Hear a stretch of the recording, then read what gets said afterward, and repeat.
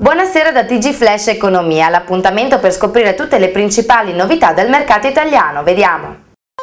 Sulle colline che circondano il paese di Scansano, in provincia di Grosseto, si estende la cantina cooperativa Vignaioli del Morellino, che dal 1972 presenta questo vino, principe di quelle zone, in diverse tipologie. L'ultimo gioiello della cantina è il Roggiano Bio, un rosso biologico che si è aggiudicato l'etichetta verde della certificazione ambientale, vincendo anche il premio di Lega Ambiente nella categoria Vini Giovani.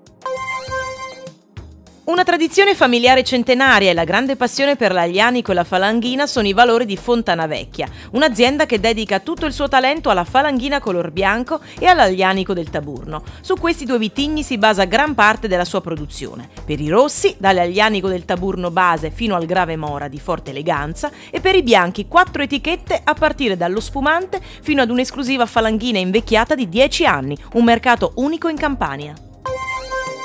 Controllare i NEI ora si può anche nelle farmacie comunali grazie ad una tecnica innovativa che sfrutta le potenzialità della teledermatologia. F Group promuove infatti un progetto di sensibilizzazione e prevenzione del melanoma. L'esame si potrà effettuare in tutte le farmacie aderenti all'iniziativa con un'apposita macchina fotografica, senza lista d'attesa e con costi contenuti. I risultati arriveranno da centri dermatologici d'eccellenza in circa 48-72 ore.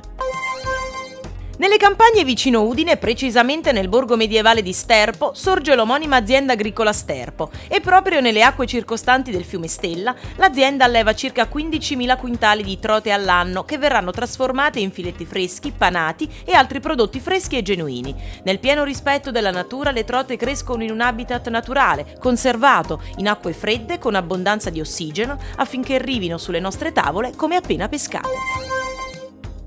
Tutta l'artigianalità e la sartorialità delle botteghe napoletane, capi lavorati a mano e realizzati con tessuti pregiati, sono i valori di Luigi Borrelli, un'azienda di generazione nata nei primi anni del 1900. Quest'anno indosseremo molte nuance del colore naturale, il greggio, il panna, per arrivare ad un grigio, ad un marrone o blu, fino ad un colore più scuro, il bordeaux. La Luigi Borrelli interpreta questa tendenza con una collezione definita New Modern Metropolitano.